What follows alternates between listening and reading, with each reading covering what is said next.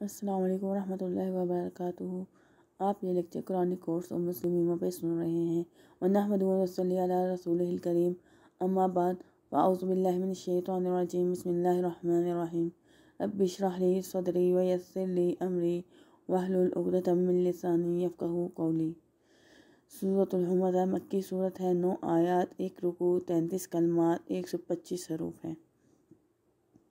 बिस्मिल्लाहिर्रहमानिर्रहीम वैलुल्लिकुल्लि लुमज़ा अल्लज़ी जमअ मालन व अद्ददा यहसबु अन्न मालहु अखलदा हर तनाजन ऐप गरी करने वाला के लिए हलाकत है जिसने माल जमा किया उसे गिन गिन कर रखा और वो ये समझता कि इसका माल इसे दुनिया में हमेशा रहेगा हुमज़ा हुमज़ा के मायने किसी शख्स किसी हरकत काम या बात पर तानो तशनी करने वाला हो हुआ वह काम ताना और तशनी के काबिल हो या ना हो यानी तान तशनी ज़ुबान से की जाए या आँखों के इशारे से काम चला लिया जाए। किसी के ऐप तलाश करना को क्या कहते हैं उमर्रा उमर्रा स्टोव में रहना कि कोई किसी का कमज़ोर पहले उसके हाथ आ जाए। ऐप जो ये ऐप चीनी करना, फिर दूसरों से ऐसी बातों की गिबत करना। इस आयत में दरअसल इस मौजिन ने कुरैश की मुतनबे किया जा रहा है कि जो हर वक्त मुसलमानों और पैगंबर इस्लाम का मज़ाक उड़ाते थे। एक दूसरे को आँखें मारते हैं, जो गलतियाँ इनकी नज़र में मालूम होती, इन पर तानो तशनी करते और जो बातें मालूम ना होती, इनकी टोह में लगे रहते इन्हें बताया गया है कि तुम्हारी ऐसी हरकतों का अंजाम तुम्हारी अपनी तबाही और हलाकत होगा। हुमाजा अब्बास के नज़दीक हम मायने अल्फाज हैं। यानी इसमें कुछ फ़र्क कर, लेकिन कुछ इसमें फ़र्क करते हैं। हुमाजा वो शख्स है जो रद रू दर रू बुराई करे हुनुमाजा वो है जो पीठ पीछे गिबत करे। बाद इसके बरअक्स मायने लेते हैं। बाज़ कहते हैं हुमद आँखों से और हाथों के इशारे से बुराई करना है और लुमज़ा ज़ुबान से बुराई करने के बारे में आता है। अल्लज़ी जमा माल और जिसने माल जमा किया और उसे गिन गिन कर रखा। और इनकी ऐसी हरकतों की वजह से कि ये जो मालदार लोग थे, अपनी दौलत के नशे में मुसलमानों को हकीर और जलील समझ कर ऐसी हरकतें करते थे। माल मालदार होने के साथ साथ वो वकील भी इंतहाई दर्जे के थे। वो पैसे रुपये पैसे को महफूज रखने और इसे गिन गिन के रखने में इन्हें खासा लुत्फ आता था। वाज है कि अगर अच्छा इन आयात का रोए सखन कुरैश की तरफ़ है, लेकिन अल्फाज आम हैं। इनका अतलाक ऐसे तमाम मालदारों पर होता है जो इन सफ़ात के हामिल हों। और ये तो आम मुशाहे की बात है कि मालदारों और ज़रपस्तों का माल जमा करने और इसे गिन गिन रखने में एक ख़ास खुशी महसूस होती है। कि उनकी सारी ज़िंदगी मकसद यही होता है कि माल जमा कर लें और उसे गिन गिन के रखें। यह सब अन्ना मालहू अखदरा और वह समझता है इसका माल इसे दुनिया में हमेशा रहेगा।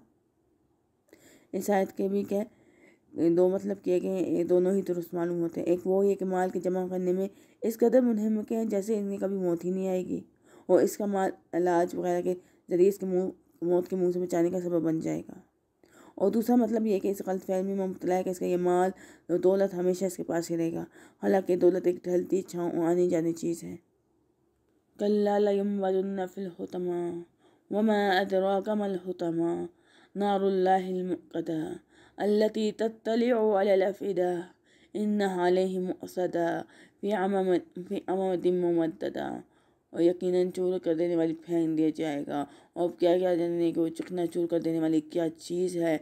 अल्लाह की आग से खूब भड़काई हुई, जो दिलों पर चढ़ जाएगी और इन पर हर तरफ़ से बंद कर दी जाएगी, जबकि वो ऊँचे ऊँचे सुतूनों में घिरे हुए होंगे।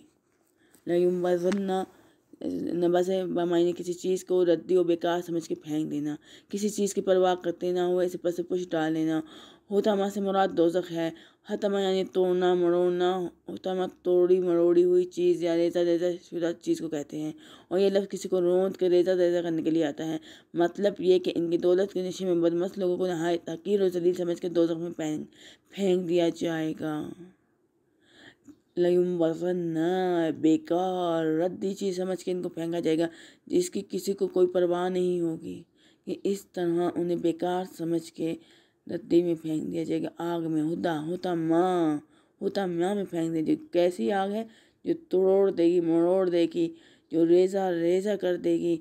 ये लोग जो नशे में मस्त, बदमस्त लोग थे, दूसरों को हकीर समझते थे दुनिया में, आज इनको ऐसे हकीरों से लील कर दिया जाएगा। उन्हें इस तरह ही हकीरों से लील करके दो में फेंक दिया जाएगा। ये तमा ये आग अल्लाह ताला की तरफ़ से भड़काई हुई आग होगी। अल्लती तत्तलफ़िदा जो कि इनके दिलों पर चढ़ जाएगी। ये हर, इसकी हरारत दिलों तक पहुँचेगी, ऐसी शदीद आग होगी। वैसे दुनिया की आग के अंदर भी ये खासियत होती है कि वो हर चीज़ को जला डालती है, लेकिन दुनिया में ये आग दिल तक नहीं पहुँच पाती। इंसान की मौत इससे कबल ही वाक़ हो जाती है। जहन्नुम में ऐसा नहीं होगा, वो आग दिलों में भी पहुँच जाएगी, लेकिन मौत नहीं आएगी। बल्कि आरज़ू के बावजूद मौत नहीं आएगी। मौसदा इनमें बड़े बड़े सतून होंगे। मौसदा बंद, यानी जहन्नम के दरवाजे और रास्ते बंद कर दिए जाएँगे, ताकि कोई बाहर ना निकल सके और इन्हें लोहे की मेखों के साथ बाँध दिया जाएगा, जो लंबे लंबे सतूनों की तरह होंगे। बास के नज़दीक अमदिन से मुराद बेड़ियाँ हों तोक होंगे और बास के नज़दीक सतून होंगे, जब इन्हें अजाब दिया जाएगा। अल्लती तत्तलिफ़िदा की आग दिलों तक चढ़ जाएगी। वादा से मुराद दिल का वो हिस्सा जो इंसान के जज्बात जज्बात की शिद्दत और तासीर से ताल्लुक़ रखता है। मतलब ये कि अल्लाह की भड़काई हुई आग दिलों के इस हिस्से पर जा पहुँचेगी, जो जज्बात का मरकज़ होंगे, जिस पर ज़रपरस्ती का जज्बा था, जो दूसरे को लोगों के हकीर और जलील समझने और अपने आप को बड़ी चीज़ समझने के जज्बात से मामूर था। ये आग के इसके जज्बात को, इसके दिल के इस हिस्से को भून कर रख देगी, जो उन्होंने दुनिया में लोगों के साथ मामला किया। लोगों को इसी दिल में रखते हुए कई हकीर और जलील समझा। तो अल्लाह ताला इन, इन्हीं जज्बात तक इस आग को पहुँचा देगा। और ऐसे लोग को नहाय ज़िल्लत के साथ बेकार चीज़ समझ के जहन्नुम में फेंक दिया जाएगा। फिर ऊपर से मुँह बंद कर दिया जाएगा और इस पर दरवाजे या खिड़की तो दरकना कोई सुराख तक न होगा। फ़ी और ऊँचे ऊँचे सतूनों में गिरे हुए होंगे लोग।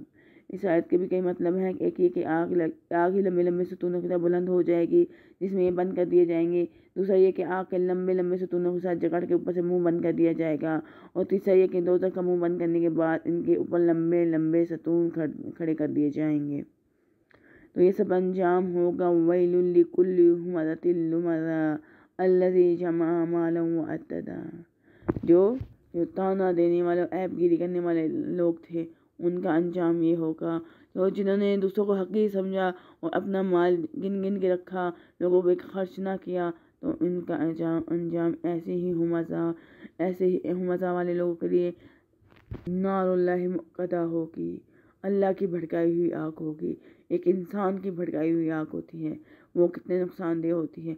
और एक जब अल्लाह ताला की भड़काई हुई आग होगी, जहन्नुम की आग होगी तो वो कैसा मामला होगा इनके साथ? अल्लाजिन मिनन्नार।